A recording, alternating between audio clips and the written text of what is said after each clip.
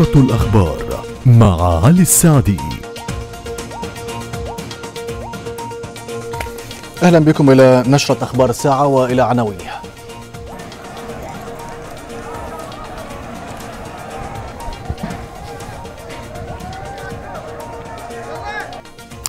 الكاظم يوجه بالتحقيق في أحداث الناصرية الأخيرة وعبد الغني الأسد يؤكد من هناك أن مهمته محددة ومؤقتة لحين اختيار المحافظ المناسب.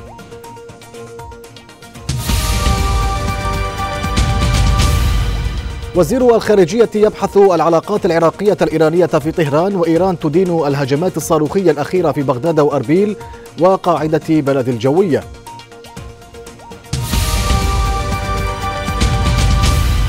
أقلعت الطائرة العسكرية العراقية متوجهة إلى الصين آه، لكي تجلب معها الوجبة الأولى إن شاء الله خلال يوم أو يومين. الوجبة الأولى من اللقاحات وبعدها تباعا ستصل من سينوفارم الصيني وأسترازينيكا من خلال كوفاكس وكذلك إن شاء الله بعد إتمام كل المتعلقات القانونية بلقاح آه، آه، فايزر. تسجيل أكثر من 3500 إصابة جديدة بكورونا والعراق يرسل طائرة لجلب أولى وجبات اللقاح المضاد للفيروس من الصين.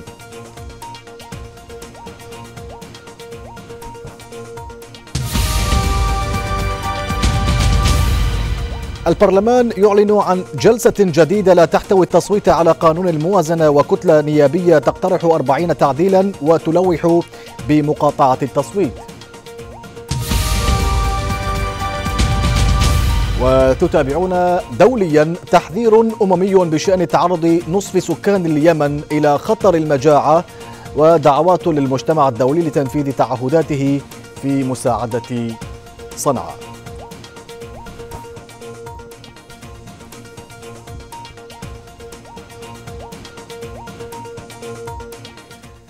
مرحبا بكم والبداية من آخر مستجدات ملف الناصرية حيث أمر رئيس مجلس الوزراء القائد العام للقوات المسلحة مصطفى الكاظمي بتشكيل لجنة أمنية عليا للتحقيق بالأحداث التي شهدتها المدينة في الأيام الثلاث الماضية.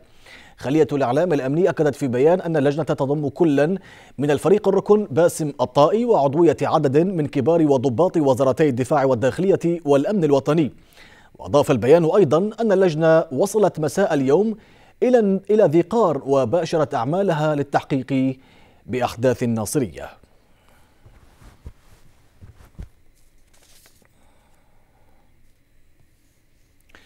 وفي الناصرية أيضا عادت التظاهرات الاحتجاجية في المدينة بعد ظهر اليوم. مراسل العراقية الإخبارية ذكر أن المتظاهرين الذين يطالبون بمحاسبة الفاسدين وقتلة المتظاهرين تجمعوا بالقرب من مبنى ديوان المحافظة وسط انتشار قوات الأمن. وأشار إلى تسجيل صحة المحافظة 25 إصابة في صفوف المتظاهرين والقوات الأمنية. معظمها إصابات طفيفة. ثم أكد انسحاب المتظاهرين من جسر النصر وإعادة فتحه أمام حركة السيارات. هذا وكانت الناصرية قد شهدت أمس وقوع صدامات بين المحتجين وقوات الأمن أسفرت عن استشهاد أربعة متظاهرين وإصابة مئة بينهم رجال أمن. أكد محافظ ذي قار الجديد عبد الغني الأسدي التزامه بتهدئة الأوضاع في المحافظة والحفاظ على أرواح شبابها ووضع الأسس المناسبة لاختيار محافظ يحظى بمقبولية أبناء ذي قار بعيدا عن الضغوط السياسية والحزبية. الأسدي قال إنه سيسعى لتهيئة الأرضية المناسبة وبخطوات رصينة للبدء بالإعمار والبناء ومحاسبة الفساد واتخاذ القرارات الصحيحة لمصلحة أهالي ذي قار. لافتا إلى أن رئيس مجلس الوزراء مصطفى الكاظمي يولي اهتماما استثنائيا وكبيرا للمحافظة. وأشار عبد الغني إلى أنه استمع لأفكار جيدة من المتظاهرين رافضا ورافضة للتخريب وقطع الطرق وحرق المباني. وأضاف أنه وجه, وجه بمنع استخدام الرصاص الحي وفق ما أصدره من بيان للقائد العام للقوات المسلحة.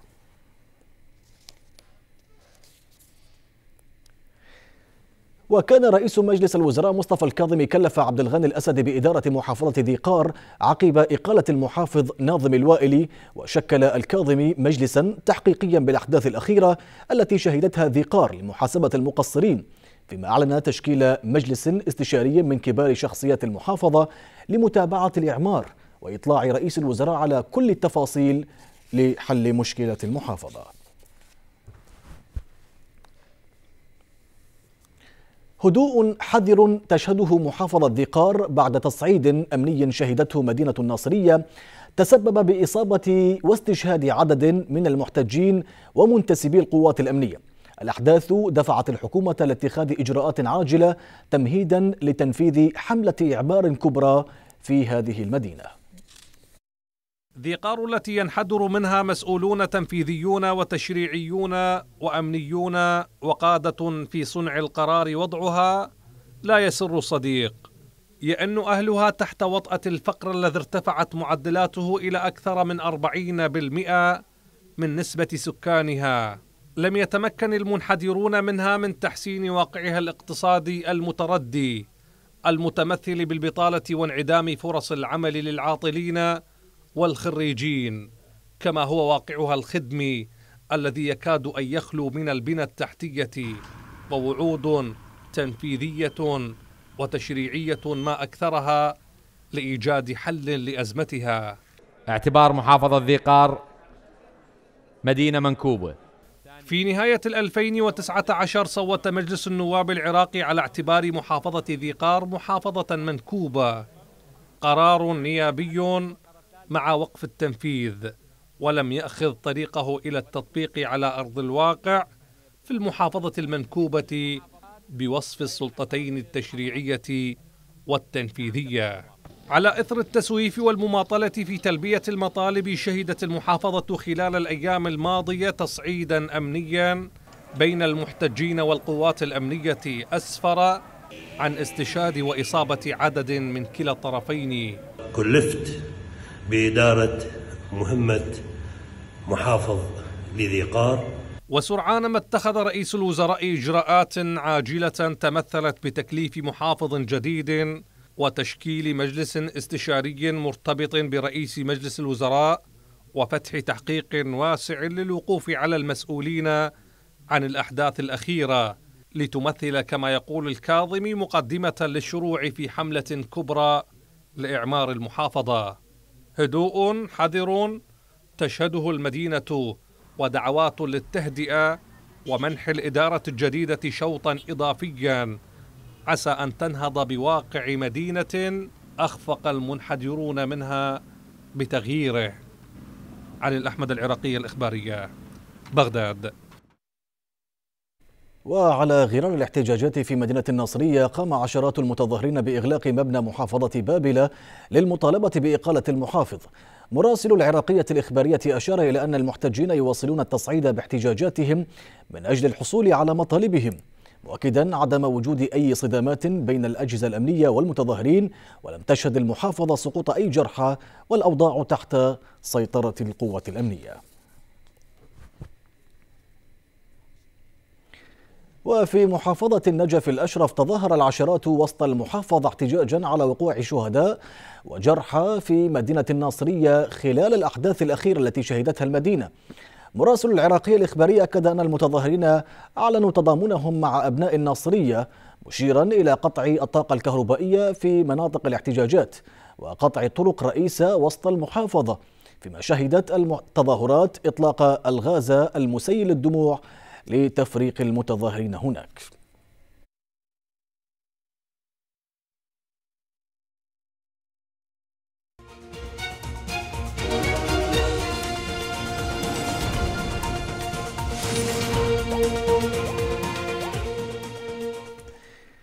أكد وزير الخارجية فؤاد حسين أهمية العمل بين العراق وإيران لتعزيز الأمن والاستقرار في المنطقة والارتكان لكل ما من شأنه خفض التوتر تحقيقا لمفهوم الأمن الجماعي. حسين أشار في لقائه المستشار الأعلى للأمن القومي الإيراني علي شمخاني إلى أن العراق لا يزال يواجه جماعات داعش الإرهابية وأن أي أعمال تضر بأمن العراق واستقراره ستعقد المشهد وتصرف الأولوية عن استكمال صفحات المواجهة مع داعش مثمنا موقف الحكومة الإيرانية الرافضة للضربات التي طالت المنطقة الخضراء في بغداد وأربيل وقاعدة بلد الجوية. من جانبه عرب شمخاني عن التزام إيران بدعم العراق تجاه كل ما يعد تهديدا لأمنه.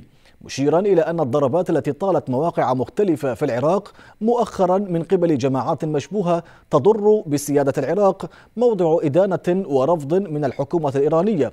وأجرى وزير الخارجية فؤاد حسين حواره مع نظيره الإيراني محمد جواد ظريف بحث من خلاله الوضع الإقليمي وما يحمل من تفاعلات جديدة في ظل إدارة الرئيس الجديد للولايات المتحدة.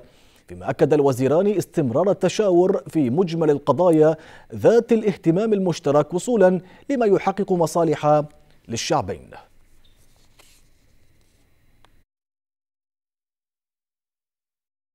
التعاون الثنائي من أجل تطوير العلاقات وبذل المزيد من الجهود المشتركه لتخفيف حدة التوتر في المنطقة.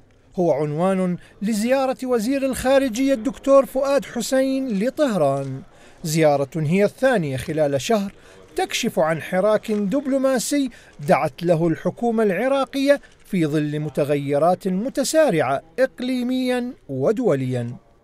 أن العراق هو يتأثر بالتغييرات الإقليمية ويحاول تحسين الظروف الإقليمية خدمة للعراق ولكل دول المنطقة هذا التعاون بين إيران والعراق بحاجة إلى تنسيق والزيارات المتتالية هي تأتي ضمن إطار رفع مستوى التنسيق لتوسيع العلاقات بين البلدين. وأشار وزير الخارجية خلال لقائه بأمين مجلس الأمن القومي الإيراني أن الأمن والاستقرار هما أساس التنمية الاقتصادية والازدهار في البلدين وقد تداولت المباحثات ملفات التبادل التجاري والمصرفي وسداد الديون والتعاون الأمني والسياسي. العراق مقبل على مرحلة إعمار وأعتقد يعني بعد تشكيل الحكومة القادمة وبعد الانتخابات القادمة العراق بحاجة إلى تعاون مع دول الجوار للإعمار وللمشاريع البنيوية التي يحتاجها. وأكد الوزير فؤاد حسين أن الفترة المقبلة ستشهد تعاونا أكبر بين البلدين وحذر المسؤولون الإيرانيون من أجندة تسعى لتخريب العلاقات الوطيدة بين البلدين واستهداف الأمن العراقي. متغيرات تستدعي المزيد من التعاون والتفاهم الثنائي والإقليمي. يرى المراقبون ضرورة تحفيزها من خلال الزيارات المتبادلة. درة زهير العراقية الإخبارية طهران. يستعد العراق لاستقبال زيارة البابا يوم الخامس من الشهر المقبل والتي تعد بوابة تاريخية لما تمثل دعما للبلاد في المجال الاقتصادي والتجاري في المنطقة والعالم. الأوساط الدينية أعلنت ترحيبها بهذه الزيارة كونها تهدف إلى مواجهة التطرف وتعزيز التعايش بين مختلف الطوائف والأديان. زيارة باب الفاتيكان التاريخية للعراق تمثل دعما كبيرا له في المحافل الدولية وعلى أعلى المستويات وتؤكد وحدة الموقف الإنساني المتضامن مع بغداد في مواجهة التطرف ونبذ الصراعات وتعزز التنوع الديني والتعايش بين الجميع. نقول أهلا وسهلا ومرحبا بالبابا والعراق اليوم إن شاء الله هو بما أنه مهد الحضارات وإبراهيم عليه السلام وأور وآشور و كذلك أن العراق سبحان الله من نعم الله على هذا البلد أن فيه يكثر الأنبياء والأولياء فالبابا هو لم يأتي إلى دولة غريبة لا هو جاء إلى مهد الحضارات ومهد الأنبياء سوف تفتح آفاق كبيرة آفاق تجارية آفاق اقتصادية وتدعو إلى التعايش السلمي وحقيقة نتقدم بالشكر الجزيل إلى زعماء الطوائف بدعمهم إلى هذا المشروع الوطني الذي يدعو إلى التعايش السلمي ما بين أطياف العراق كافة.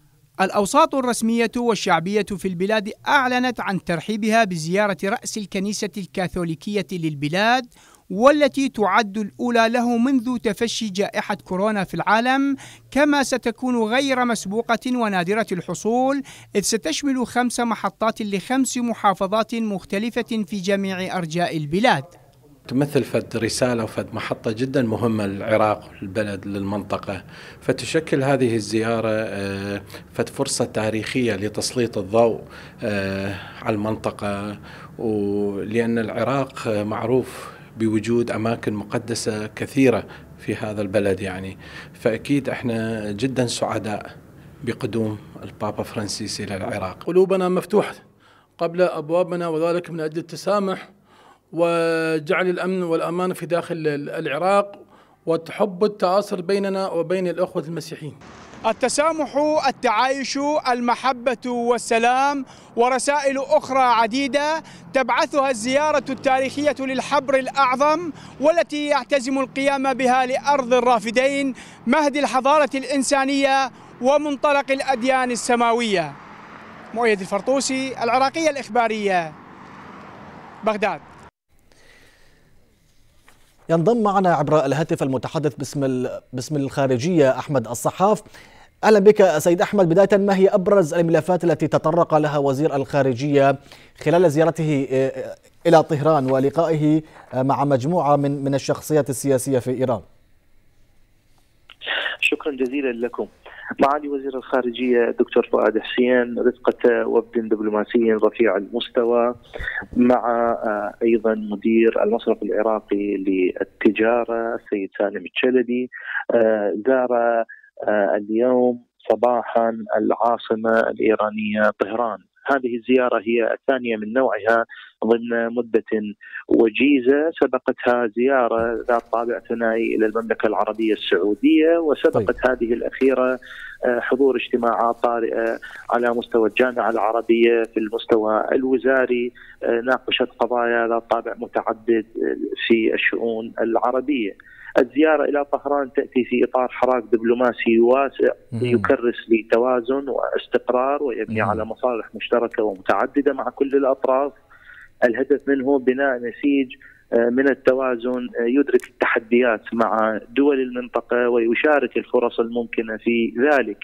الزيارة بحثت العلاقات الثنائية أهم الملفات وسبل الدفع بها آه، بما يحقق مصالح الشعبين الجارين معالي الوزير التقى أيضا الأمين العام الأمن القومي الإيراني السيد علي شمخاني وكذلك التقى بنظيره الإيراني محمد جواد ظريف شهدت المباحثات آه، حوارات معمقة وموسعة تتعلق ب طيب آه آه طيب سيد سيد أحمد ماذا عن ملف صادرات الغاز الإيرانية للعراق؟ هل تم بحث هذه المشكلة؟ هل عرضت على على طاولة النقاش وتم التباحث بشأنها؟ كل المتغيرات المتصلة بالعلاقات الثنائية بين البلدين كانت على طاولة الحوار. وبالتأكيد نتشارك وعي التحديات بشكل معمق. وكانت هناك حوارات حقيقة اتسمت بواقعية مفرطة. هناك حالة من الاستجابة المتبادلة آه، بين الجانبين بناء على الفرص الممكنة. آه، ما يتعلق بموضوعات تبادل الدعم على مستوى الطاقة. الجمهورية الإسلامية الإيرانية جددت دعمها لحكومة وشعب العراق في كل المجالات وعلى كافة الصعد الدفع بمذكرات التفاهم التي كانت قد أبرمت من ذي قبل بين الجانبين بشكل برامجي آه، ضمن مدد قصيرة ومتلاحقة. السيد الوزير أيضا أشار في حواراته مع آه، آه، الشخصين شمخاني ونظيره الإيراني إلى الأمن الإقليمي وسبل دعمه والتكريس للتوازن والعمل على تجنب التصعيد وخفض التوتر طيب. وفي الجانب الإيراني أبدى الرفض والإدانة المطلقة للضربات الأخيرة التي طالت مناطق في بغداد وقاعدة بلد الجوية ومقتربات ضمن مطار طيب. اربيل وعد الجانب الإيراني منهم آه، مسؤولين سياسيين وأمنيين أيضا رفيعي المستوى. طيب آه، هذه سيد أحمد أنا حتى أستثمر وجودك آه، بشكل آه، آه، جيد. في في موضوع آخر يخص بزيارة البابا فرانسيس. استعدادات كلش كبيرة واليوم المسؤولية ربما تقع على عاتق وزارة الخارجية بشكل جدا كبير. أين وصلت هذه الاستعدادات لاستقبال البابا؟ في بغداد في الخامس من الشهر المقبل. كيف تجري الأمور حتى الآن؟ وجه دولة رئيس الوزراء سيد مصطفى الكاظمي بتشكيل لجنة وطنية آه، عليا مهمتها التنظيم والتنسيق والإشراف وتيسير آه، زيارة آه، قداسة البابا فرانسيس الأول إلى العراق. المزمع أن تكون من الخامس إلى الثامن من الشهر القابل بإذن الله. الزيارة كما تعلمون ستكون تاريخية واستثنائية وهي الأولى من نوعها. لجان فرعية متعددة انبثقت عن لجنة الأمر الديواني. لجان تتعلق بالمراسم والإعلام والدعم اللوجستي واللجان الأمنية ورئيس اللجنة وكل الفرق الفرعية تحشد الجهود الوطنية عبر المؤسسات الوطنية العراقية للتكريس لتوفير كل المتطلبات الكفيلة لإنجاح هذه الزيارة. المحطات ستكون في طيب. أور ثم النجف الأشرف وبغداد وقراقوش وأربيل وكذلك الموصل. طيب. محطات متعددة لزيارة البابا سيد أحمد، أنا أشكرك الشكر الجزيل. كنت معي من طهران عبر الهاتف المتحدث الرسمي باسم وزارة الخارجية سيد أحمد الصحاف، شكرا لك سيد أحمد. جلسة جديدة يعقدها البرلمان غدا الاثنين لمناقشة عدة ملفات باستثناء مسودة القانون التي تخضع للدراسة من قبل الحكومة بعد التعديلات التي أجريت عليها من قبل اللجنة المالية النيابية فضلا عن عقدة حصة إقليم كردستان فيها. لم تدرج مسودة قانون الموازنة ضمن جدول أعمال جلسة مجلس النواب الاثنين المقبل لانتظار المجلس رد الحكومة على التعديلات التي أجرتها اللجنة المالية على القانون وما ترتب عليها من جنبة مالية ومناقلات في أبواب الموازنة قد لا تتلائم مع خطط الحكومة التنموية للعام الحالي إضافة إلى ما يتعلق بفقرات الإقليم وغياب التوافق حيالها. ما موجود في به حكومه الإقليم وملتزمة به الحكومة الاتحاديه في كمقترح المشروع. في حال صار أي تعديل عليه فالمفروض الحكومة الاتحادية نفسها يعني يكون علم بالتعديل اللي صار وحكومة الإقليم أيضا خاصة إذا صارت التزامات أكثر على حكومة الإقليم، فهذا الموضوع يحتاج مناقشة أيضا مع حكومة الإقليم نفسها من داخل اللجنه المالية في حال إذا صار مقترح التزامات أخرى على إقليم كردستان. كتلة النهج الوطني النيابية وخلال مؤتمر صحفي اشترطت حزمة من التعديلات على مسودة الموازنة ملوحة بمقاطعة التصويت على القانون إذا لم يتم الأخذ بها. منها تسليم إقليم كردستان 490 ألف برميل نفط يوميا إلى شركة سومو وإلغاء الفقرة التي تلزم الحكومة بتسديد قروض الإقليم. التزام إقليم كردستان بتسليم 460 ألف برميل يوميا إلى شركة تسويق النفط العراقية سومو حصرا. وكذا يسلم ما زاد على تلك الكميات وجميع الإيرادات غير النفطية الاتحادية. وفي حالة عدم التزام الإقليم لا يجوز تسديد النفقات للإقليم ويتحمل المخالف لهذا النص المسؤولية القانونية.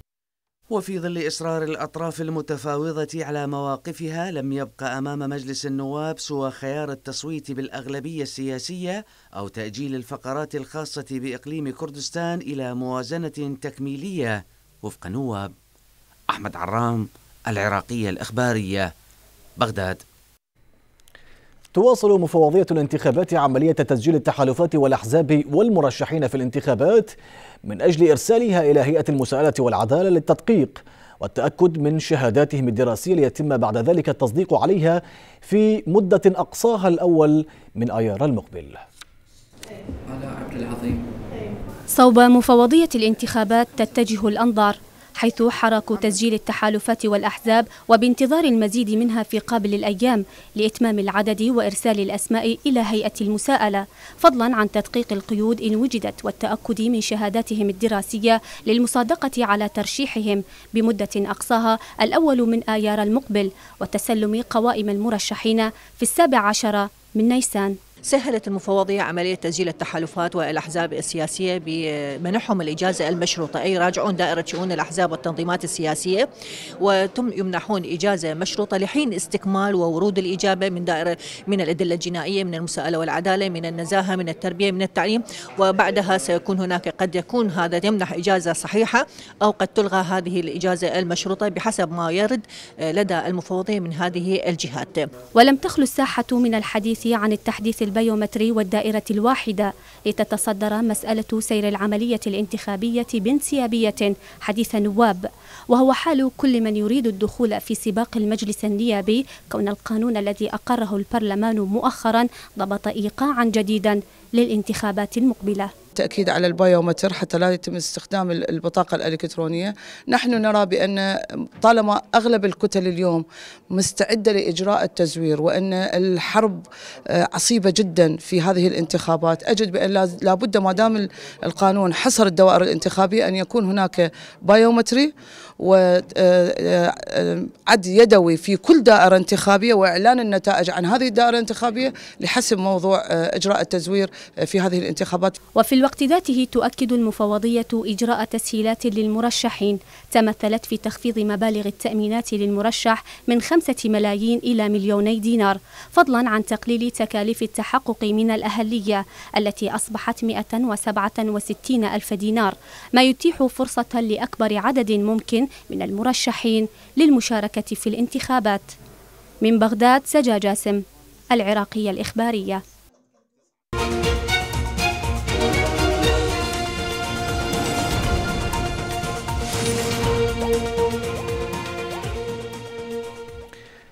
تتواصل إجراءات الحظر الصحي الشامل في عموم المحافظات العراقية عدا إقليم كردستان. شبكة مراسلي قناة الإخبارية العراقية أكدوا وجود التزام واضح بإجراءات الحظر الشامل وأشاروا إلى أن الأجهزة الأمنية تقوم بتطبيق قرارات اللجنة العليا للصحة والسلامة في إطار مواجهة جائحة كورونا في البلاد.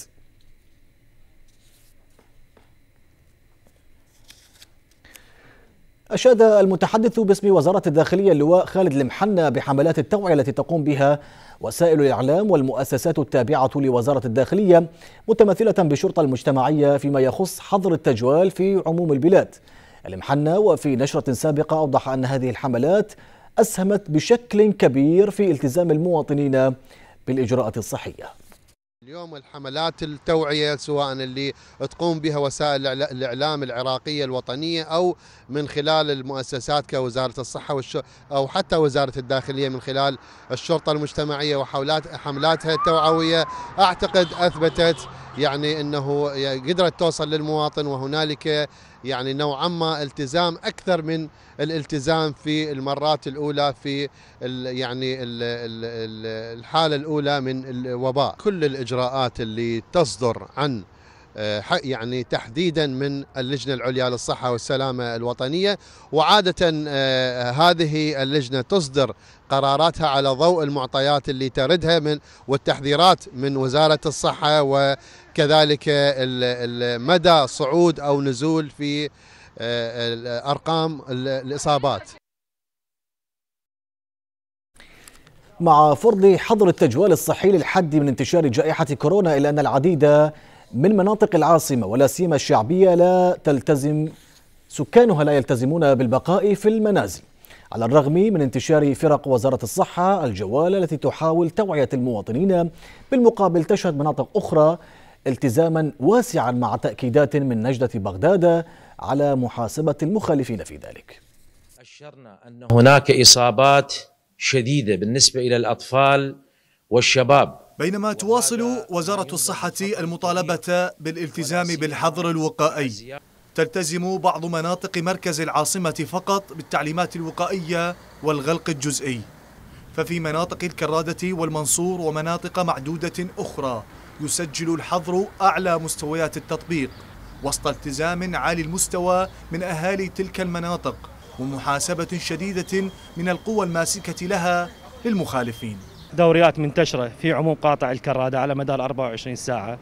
مبدأنا الأول هو تقديم الخدمة والمساعدة للمواطن أكثر ما أنه إحنا نحاسبه. نحثه على لبس الكمامة نحثه على التباعد الاجتماعي خاصة داخل العجلة وفق مقررات خلية الأزمة. وأمر السيد رئيس مجلس الوزراء المحترم تعميمها على كافة المواطنين. الحالات المخالفة إحنا نبدي نطبق القانون. طبعا أكيد وفق إجراءات الأصولية تسليم المركز الشرطة ينال القانوني.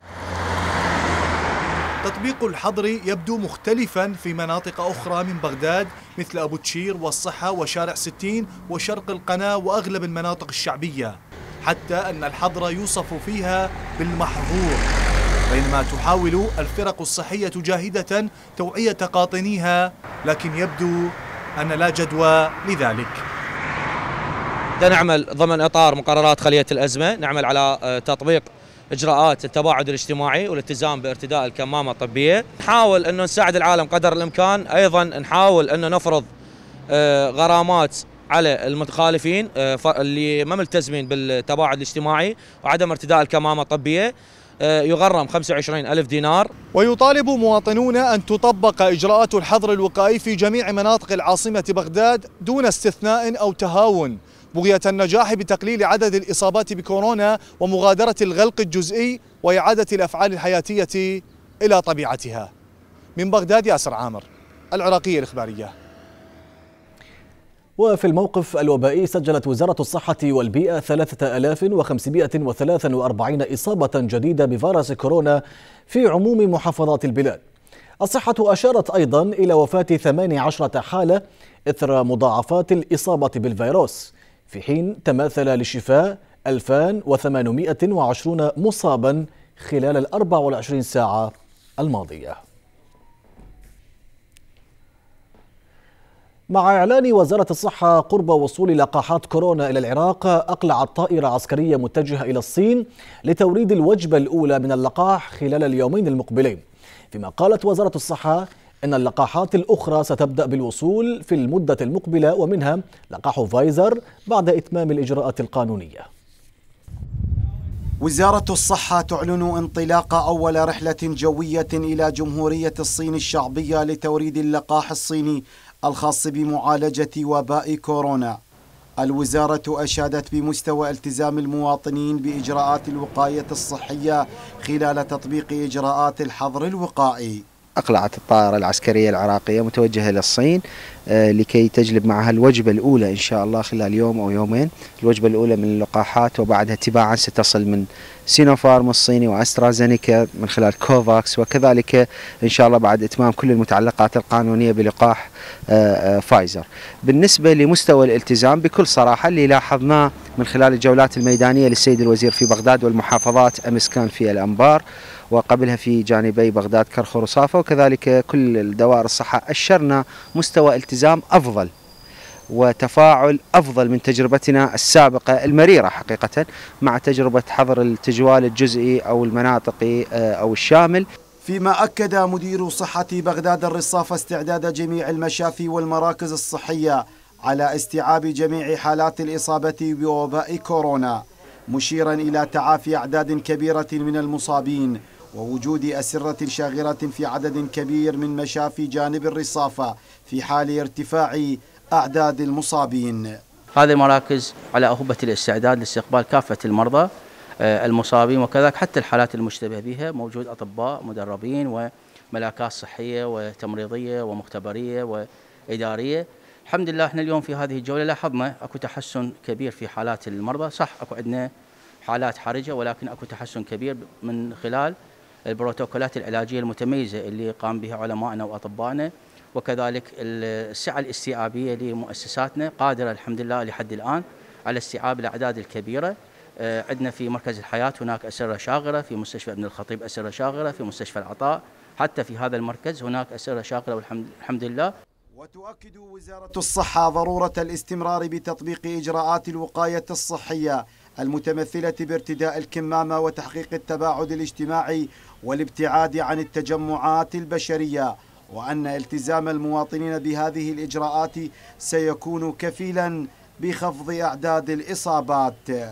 من بغداد حسام التميمي العراقية الإخبارية. صحة ميسانة حذرت المواطنين من فقدان السيطرة على تفشي فيروس كورونا جراء عدم الالتزام بالإرشادات الصحية. في وقت تواصل الأجهزة المختصة جولاتها الميدانية لمراقبة مدى تطبيق مقررات خلية الأزمة في المحافظة. الإدارة الصحية في ميسان تطلق تحذيرات جديدة من فقدانها للسيطرة على تفشي جائحة كورونا بموجتها الثانية في حال استمرار المواطنين بعدم الالتزام بالإجراءات الوقائية. هذه التحذيرات التي أطلقتها المؤسسات الصحية في ميسان رغم جاهزيتها الكاملة من حيث تأمين السعة السريرية والأدوية والمستلزمات الطبية الأخرى مع وجود الخطة البديلة لأية حالة طارئة. جاءت نتيجة الارتفاع المتزايد في أعداد المصابين بفيروس كورونا خلال الفترة الماضية ما ينذر بخطورة الموقف الوبائي في المحافظة. رغم الاستعدادات الكبيرة لدائرة صحة ميسان من توفير الردهات أكثر من 300 سرير الآن جاهزة لاستقبال الحالات. آه، أكثر من 30 آه، ألف لتر من الأكسجين السائل ومئات القناني الأكسجين. الأدوية المختلفة الكوادر مستعدة لكن هذا يدعو لا يدعو إلى الراحة. آه، نحن قلقون نتيجة للحالات الكثيرة من الإصابات في المحافظات المجاورة. بدأت الحملة الثانية من الوباء بالانتشار. وهذا يستدعي آه، الالتزام بالإجراءات الوقائية من قبل المواطن الميساني. فيما تواصل القيادات الأمنية والصحية جولاتها الميدانية لمتابعة ومراقبة مدى التزام المواطنين بالحظر الصحي الوقائي واتخاذ جملة من العقوبات والغرامات المالية المفروضة على المخالفين فضلا عن استمرار حملات التوعية والتثقيف بخطورة الوباء وأهمية الالتزام بالتعليمات والإرشادات الصحية الخطة محكمة وجيدة وأتت بنتيجة آه، إيجابية. وكان هنالك تجاوب لكثير من أصحاب المحلات وأصحاب المولات والأسواق العامة العامة في الاستجابة. في الاستجابة والحمد لله الوضع جيد جدا لحد هذه اللحظة. حسين البديري العراقية الإخبارية ميسان.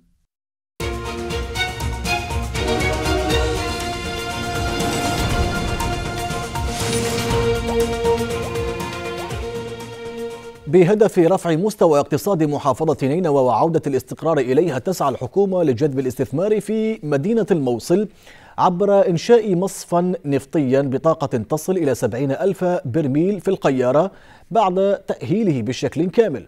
فيما ينتظر أن يصل وفد رسمي من لجنة الطاقة إلى المحافظة بهدف الاطلاع على واقع المحافظة هناك.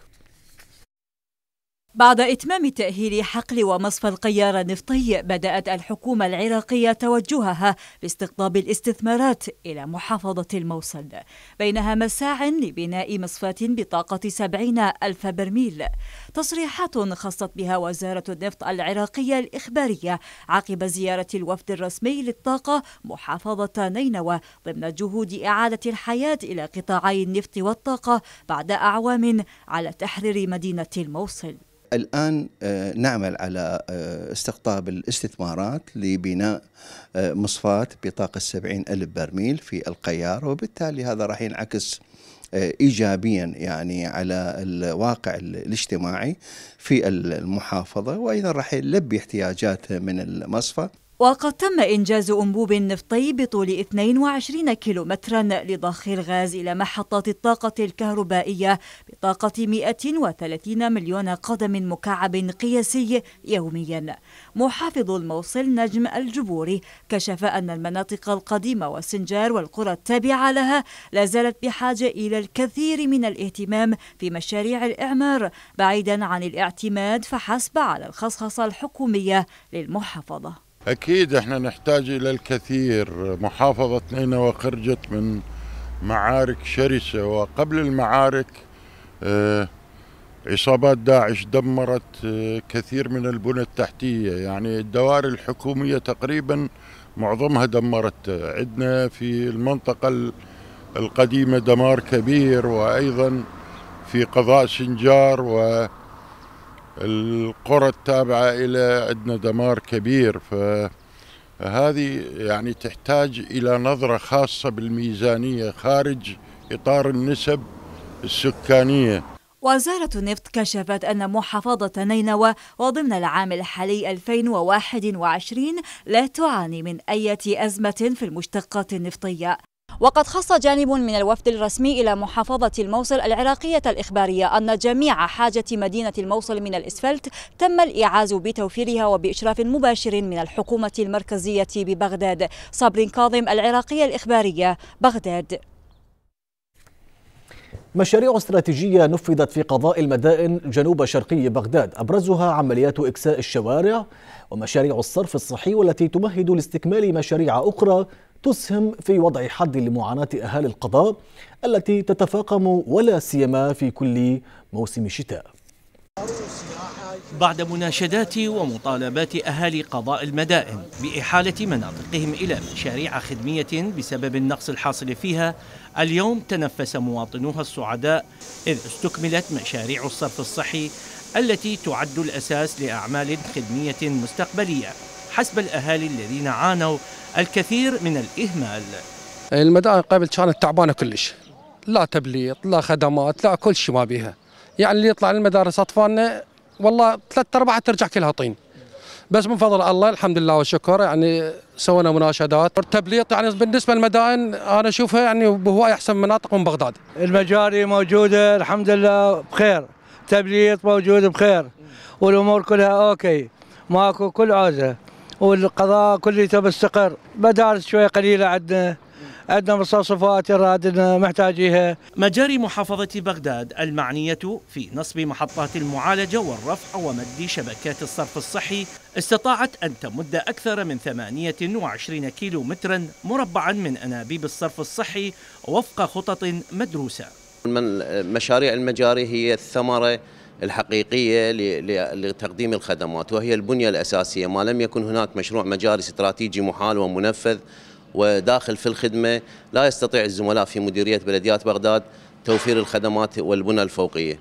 فنحن آه، نحتاج إلى دعم لهذه المشاريع ودعم إلى المنظومة العملاقة اللي خلف المانهولات والقليات عادة المواطن والإعلام والأخوة المسؤولين يهتموا في موضوع الطفح والانسدادات والفيضانات. هاي الشبكات تصب في محطات آه، رفع هي محطات ضخ أربع محطات للأمطار آه، بطاقة استيعابية 5600 متر مكعب بالساعة. وشبكات الصرف الصحي تصب في محطات الصرف الصحي اللي هي محطتين طاقة الاستيعابية التصميمية لها 2400 متر مكعب بالساعة. مشاريع استراتيجية أخرى قيد التنفيذ في أطراف العاصمة في ناحية اليوسفية والطارمية والنهروان وسبع البور ستشهد تلك المناطق حملات إعمار لتقليل العبء عن المواطنين. من مناطق مهملة غير مخدومة إلى مشاريع البنى التحتية مشاريع مياه الصرف الصحي والأمطار إضافة إلى إكساء الشوارع. شمل بها القضاء. من قضاء المدائن في بغداد محمد العيداني العراقية الإخبارية.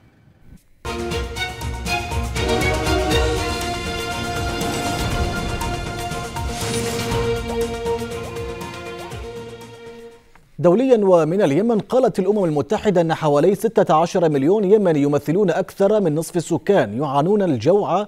تقرير للأمم المتحدة أوضح أن حوالي 80% من اليمنيين يحتاجون للمساعدة وأن 400 ألف طفل دون سن الخامسة يعانون من سوء التغذية الحاد. وأعربت الأمم المتحدة عن أملها في أن تتمكن غدا الاثنين من جمع نحو أربعة ملايين دولار في اجتماع جديد لإعلان التعهدات. يأتي ذلك مع تحذيرات أطلقتها أو أطلقها مسؤول الإغاثة في الأمم المتحدة مارك لوكوك من أن خمسة ملايين من هؤلاء اليمنيين على شفا المجاعة.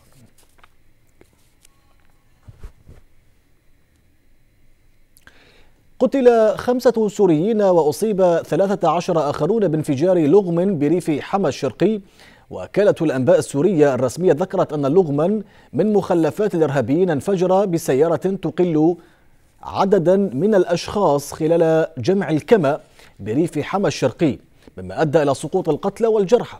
فيما أفادت أن مصدرا طبيا أشار إلى أن القتلى هم خمس نساء وعدد القتلى مرشح للارتفاع بسبب حالة بعض المصابين الحرجة.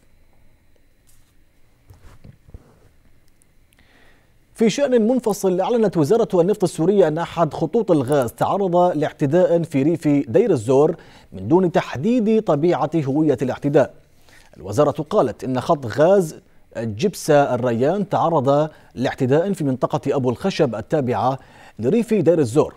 يأتي ذلك بعدما أعلنت الوزارة أنها سيطرت على اندلاع الغاز الذي حصل في بئر الشريفة في المنطقة الوسطى.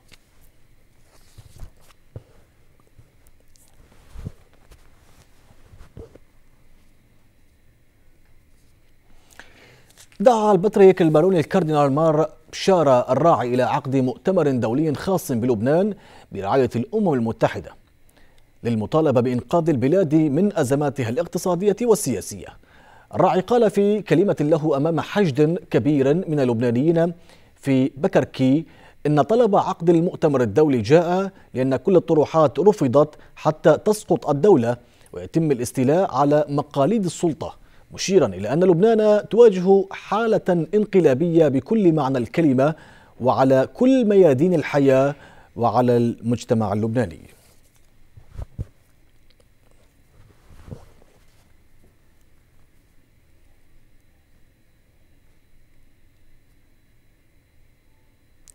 أعلن الجيش اللبناني تسجيل خرقين جويين لطيران الاستطلاع الإسرائيلي فوق مناطق الجنوب.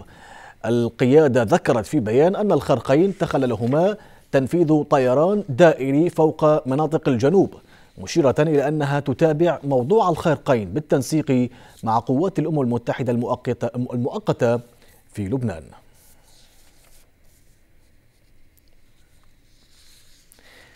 دعت الأمم المتحدة والأعضاء الأوروبيون في مجلس الأمن إسرائيل إلى وقف هدم منشآت البدو في غور الأردن مطالبين بوصول المساعدات الإنسانية إلى تجمعهم في منطقة حمص البقيع وفي ختام دورة مجلس الأمن أكدت إستونيا وفرنسا وإيرلندا والنرويج والمملكة المتحدة أنها تشعر بقلق بالغ إزاء عمليات الهدم ومصادرة الممتلكات التي قامت بها إسرائيل حديثا فيما عبرت تلك الدول عن القلق أيضا من عواقب هذه القرارات على مجتمع يضم حوالي سبعين شخصا بينهم واحد وأربعون طفلا.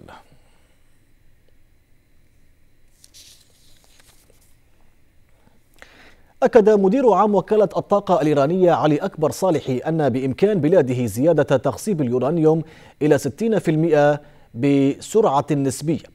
صالحي أشار إلى أن إيران قامت بتخصيب اليورانيوم إلى 20% في غضون ساعة ويمكن أن ترفع المستوى إلى 60% في المدة الزمنية نفسها مشيرا إلى أن وكالة الطاقة أنتجت 25 كيلوغرام من اليورانيوم المخصب بنسبة 20% في أقل من شهر وهي بصدد إنتاج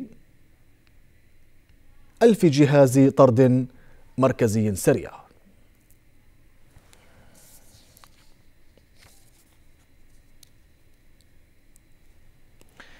أقر مجلس النواب الأمريكي خطة الرئيس جو بايدن لمواجهة التداعيات الإنسانية والاقتصادية لجائحة كورونا.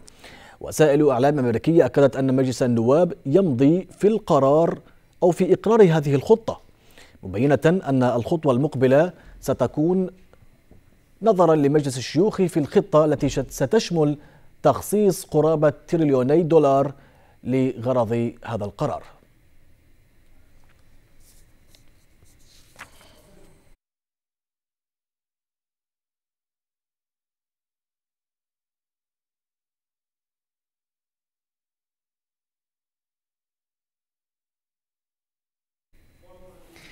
أعلن حاكم ولاية نيجر شمال وسط نيجيريا إطلاق سراح 42 شخصا بينهم 27 طالبا.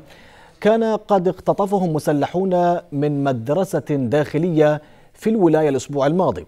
يأتي ذلك بعد يوم من عملية اختطاف أخرى نفذها مسلحون في شمال غربي البلاد حيث قاموا بخطف 317 طالبة من مدرسة حكومية ثانوية للبنات.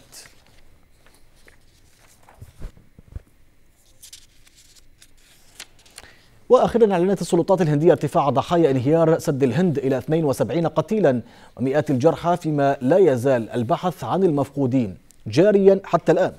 الشرطة الهندية أكدت انتشال 72 جثة و30 جزءا من الأشلاء البشرية من مختلف الأماكن مضيفة أنه تم التعرف على جثة واحدة من الجثث فيما يجري تحليل الحمض النووي للجثث التي لم يتم التعرف عليها فيما تابعت أنه تم الإبلاغ عن فقدان 205 أشخاص حتى الآن في قسم شرطة جوشيماث.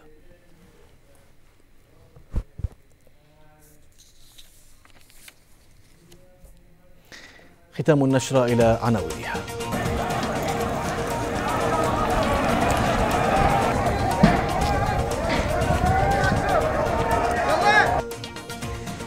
الكاظمي يوجه بالتحقيق في أحداث الناصرية الأخيرة وعبد الغني الأسد يؤكد من هناك أن مهمته محددة ومؤقتة لحين اختيار المحافظ المناسب. وزير الخارجية يبحث العلاقات العراقية الإيرانية في طهران وإيران تدين الهجمات الصاروخية الأخيرة في بغداد وأربيل وقاعدة بلد الجوية.